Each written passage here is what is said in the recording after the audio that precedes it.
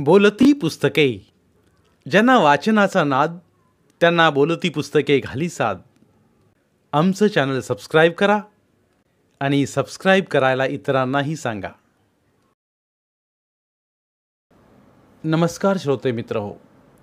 बोलती पुस्तके सादर करीत आहे लेखक सुनील काळे लिखित एक व्यक्तिचित्रण पेसी अंकल.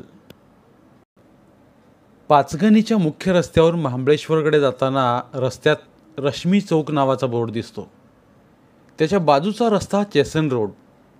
आणि या चेसन रस्त्यावरच थोडं अंतर चाललं की दोन पांढरे शुभ्र पिलर्स व त्यावर इंग्रजीमध्ये मेडस्टोन असं लिहिलं आहे. तोच तो पेसी विरजी अंकलचा बंगला. आठ एकर जागेत प्रशस्त ऐसपैस व ब्रिटिशांनी बांधलेला. गेटच्या आत जाता दोन्ही बाजूला उंचच उंच सिल्वर ओकची झाडे आणि प्रशस्त गार्डन. या गार्डनमध्ये बोगनविलीची कमान आणि उजवीकडे बंगल्याच्या पोर्चमध्ये उभी असलेली शेवाळी रंगाची जुनी फियाट गाडी. गोरेपान उंच पांढरे शुभ्र केस व मिशा. मिश्किल हास्य. डोळ्यावर जाड भिंगाचा चष्मा. पुढाऱ्यासारखे जॅकेट. वार्धक्याने थकलेली मजबूत शरीरयष्टी. पण त्यांचा उत्साह मात्र एका तरुणासारखा. बंगल्यात प्रवेश करताना डाव्या बाजूला शिलाई मशीनवर सुंदर डिझाईन्स करणारी डॉली आंटी. ती त्यांच्या मोठ्या भावाची विधवा. त्यांचं नाव फिरोज आणि त्यांच्या मृत्यूनंतर आठवणी विसरण्यासाठी सातत्याने मान खाली घालून स्वतःमध्ये मग्न होऊन शिवणकाम करणारी डॉली आंटी. उजव्या बाजूला सागवानी भव्य टेबल व त्या टेबलावर असंख्य वस्तू.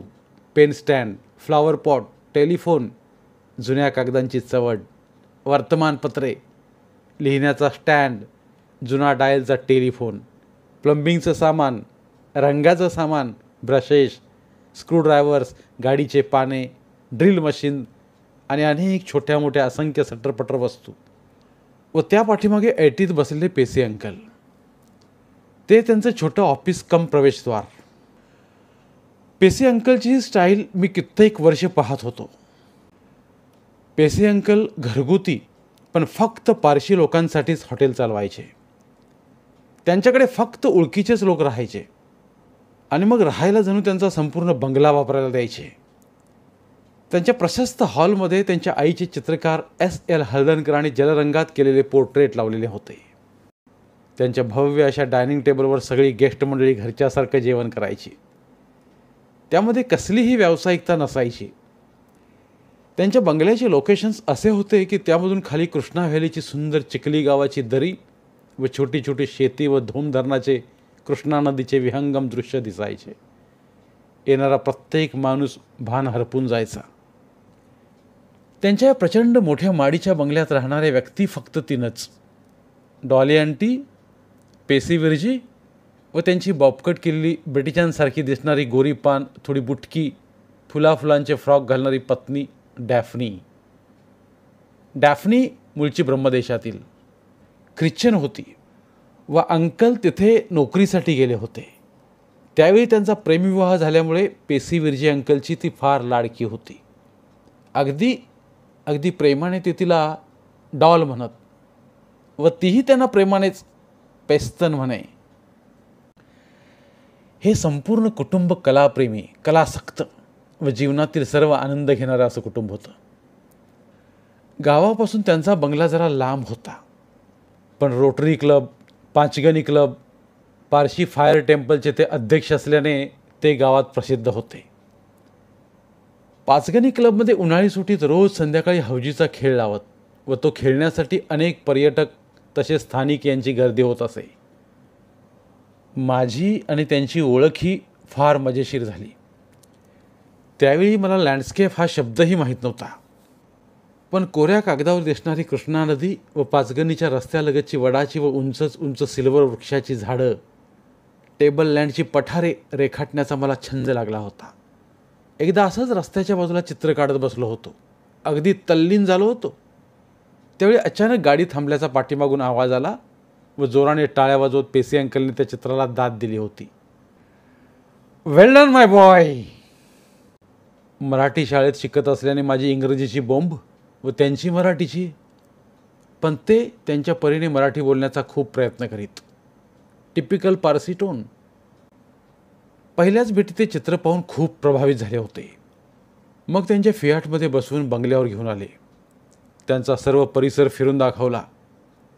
माणसांची ती नीटनेटकी आवाड हवे घरे उंची सागवानी फर्निचर सोफा सेट टिपॉय पुस्तकांची भव्य कपाटे घरातली लावलेली चित्रे डायनिंग टेबल असा मोठा थाटमाट मी प्रथमच जवळून पाहत होतो. डॉली आंटी व डॅफणी आंटी यांनी माझं फार प्रेमानं स्वागत व कौतुक केलं.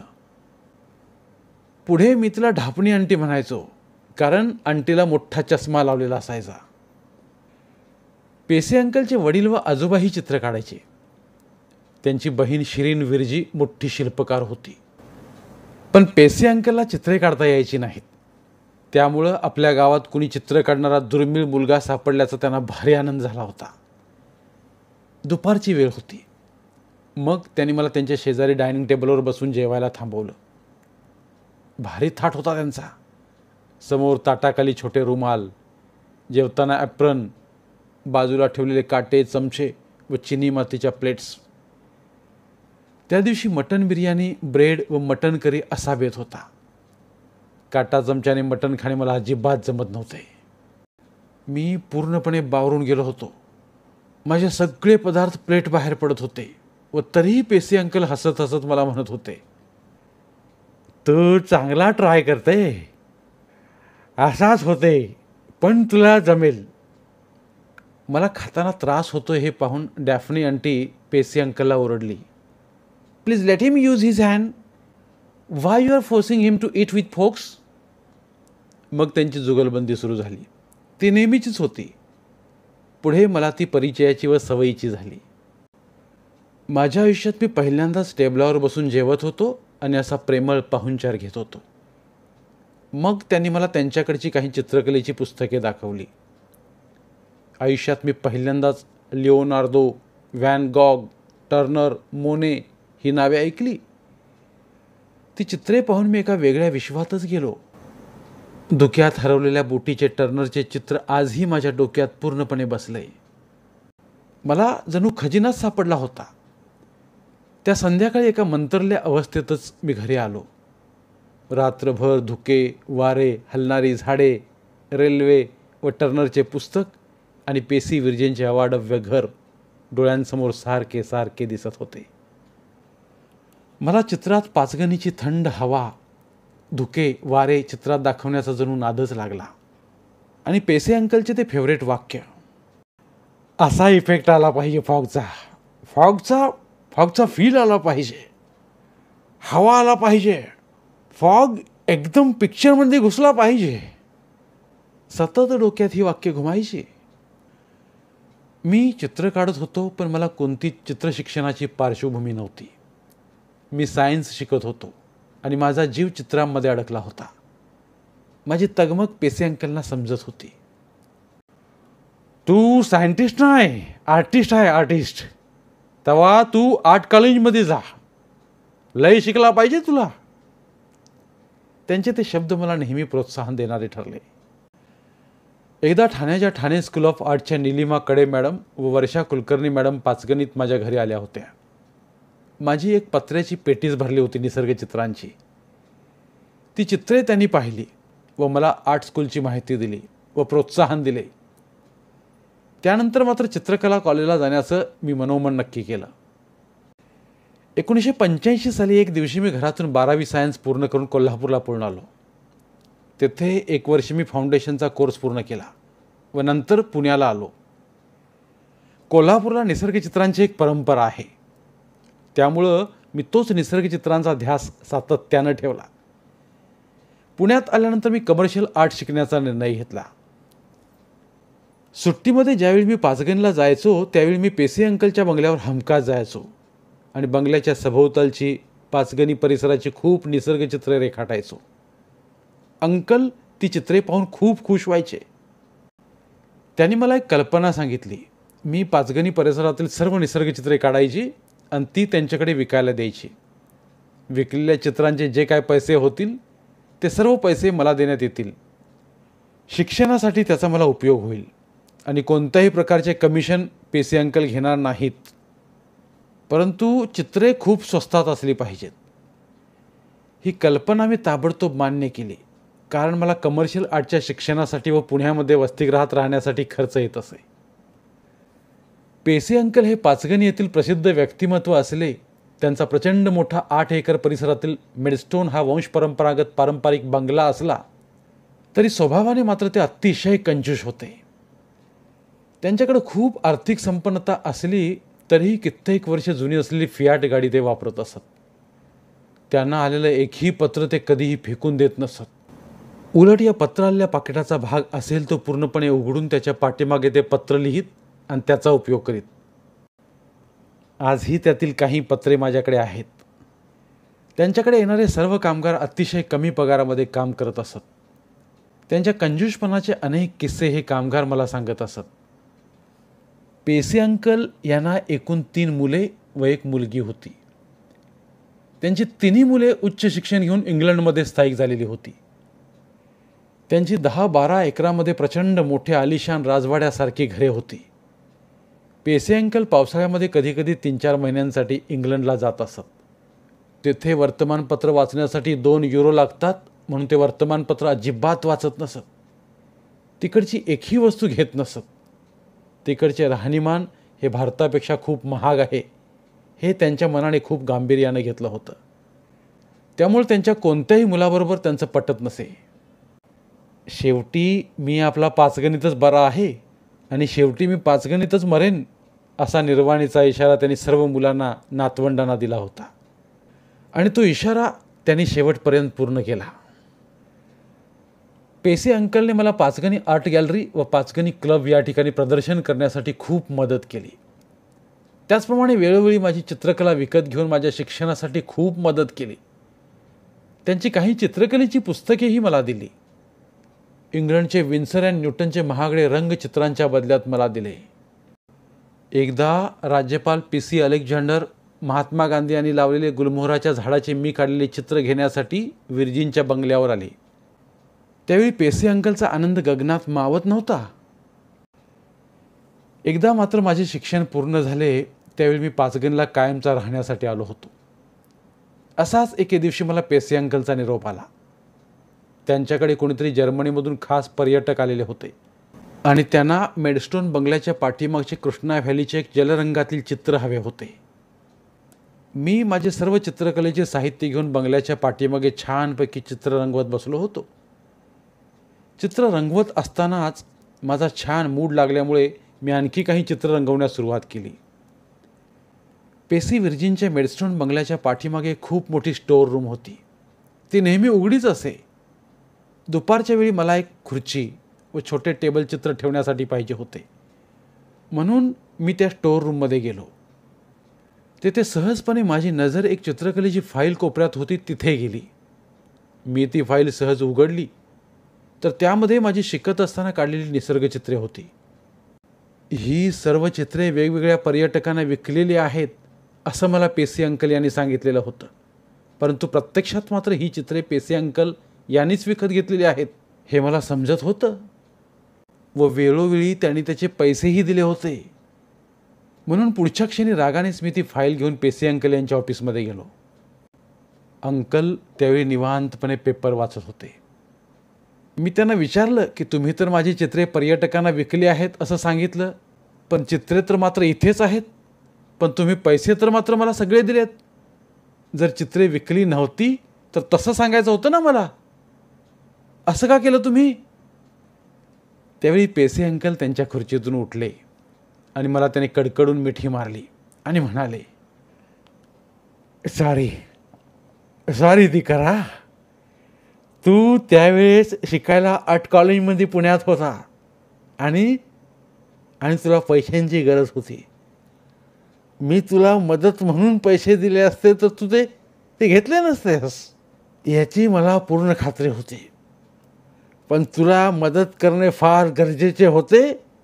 म्हणून मी ही सगळी चित्रे वेळोवेळी पर्यटकांनी विकत घेतलेली आहेत असं मुद्दामच खोटं सांगितलं.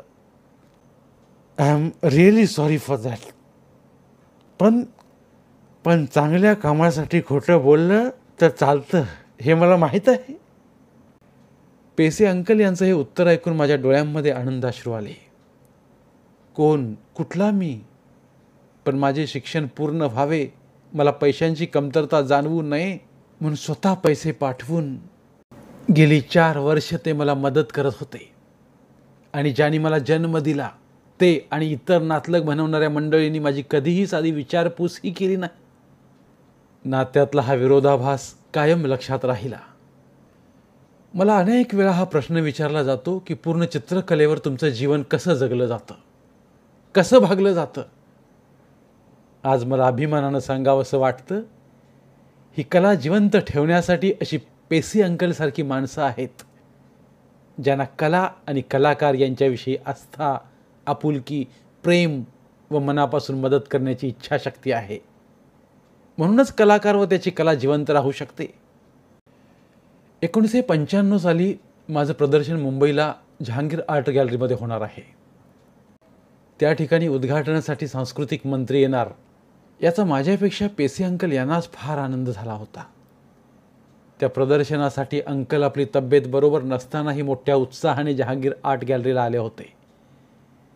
त्या प्रदर्शनामध्ये व्यावसायिक यश मिळाल्यामुळे त्यांना खूपच आनंद झालेला दिसत होता. आपल्या गावाकडचा एक मुलगा जहांगीर आर्ट गॅलरीमध्ये प्रदर्शन करतो याचं त्यांना फार कौतुक वाटत होतं. आणि त्या सगळ्या लोकांसमोर बोलून दाखवत होते. पाचगणीत कायमस्वरूपी आर्ट गॅलरी करावी अशी त्यांची फार फार इच्छा होती. आणि मी सुरूही केली पण कायमस्वरूपी टिकवू शकलो नाही. याची खंत ही कायम माझ्या मनात राहिली. पुढे म्हातारपण आल्यामुळे पेसी अंकल पूर्णपणे थकले होते. हळूहळू डायबेटीस व इतर रोगांनी त्यांना पूर्णपणे घेरलं आणि त्यातच त्यांचा अंत झाला. त्यांची पूर्ण प्रॉपर्टी आणि संपत्ती त्यांच्या बहिणीची मुलगी गीता चोक्सी हिने ताब्यात घेतली. आणि हळूहळू त्यांचं सर्व सामान फर्निचर सर्व वस्तू विकून टाकल्या व अंतिमत ती जागा शेजारच्या बाता स्कूलला मोठ्या किमतीमध्ये विकून टाकली. आणि मग माझा पेसी अंकल व मेडस्टोन बंगल्याबरोबरचा कायमचा संबंध संपवला. मी मात्र पेसी अंकलची इच्छा माझ्या निसर्ग स्टुडिओ व बंगल्याची निर्मिती करून पूर्ण केली आहे. आजही कोणीतरी सहज बोलता बोलता म्हणून जातं की हा तर पारशी माणसाचा बंगला वाटतो. त्यावेळी नकळतपणे माझे डोळे पाणावतात व वाटतं पेसे अंकलला हे माझं घर नक्कीच आवडलं असतं व मोठ्याने टाळ्या वाजवत ते परत परत म्हणाले असते well done my boy well done my boy at last you did it आजही मी ज्यावेळी शांतपणे विचार करतो त्यावेळी मला जाणवतं की अशी पेसी अंकलसारखी माणसं माझ्या आयुष्यात आली नसती तर हा माझा चित्रकलेचा काट्याकुट्यातला सदैव अडचणीतला प्रवास फार पूर्वीच संपुष्टात आला असता. एखादं चांगलं चित्र झालं आणि मी शांतपणे ते चित्र पाहत बसलो की आजही मला टाळ्यांचा आवाज येतो आणि मोठ्या प्रेमाने कौतुकाचे शब्द ऐकू येतात. Well done my boy well done my boy आणि मग मी मनातच नतमस्तक होऊन पेसी अंकलच्या आठवणीत आजही रमून जातो. धन्यवाद. पुन्हा भेटूया एका नवीन कथेसोबत. मराठीतील प्रतिभावंत लेखकांचं साहित्य कथा कादंबऱ्या ऐकण्यासाठी आमचं बोलती पुस्तके हे चॅनल सबस्क्राईब करा. आणि मराठी साहित्याचा प्रसार करण्यासाठी प्रत्येक मराठी माणसाला सबस्क्राईब करण्यासाठी आवाहन करा. आणि बोलती पुस्तके या साहित्य चळवळीत सहभागी व्हा. आपले पुन्हा एकदा धन्यवाद.